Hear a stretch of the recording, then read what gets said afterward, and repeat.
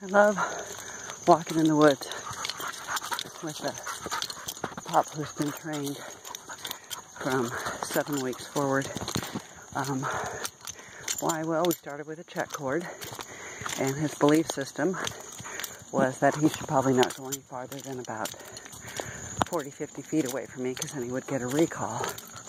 And then we've done lunge line work, and uh, with that lunge line work, his belief because he needs to stay fairly close to me.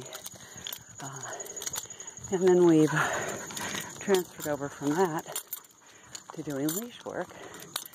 And uh, if I put a leash on him, we would be doing heeling very nicely. Uh, and then, then since then, we've also, won't go far from me, um, introduced uh, the e-collar, just recalls at this point. I just want to be able to eliminate the need for a check cord dragging on the ground uh, and know that I have instant recall if I need it, no matter what. So that is the beauty of having a dog who's been trained from the get-go uh, to believe that you're always there to help them do the right thing, whatever the right thing is, because you said so.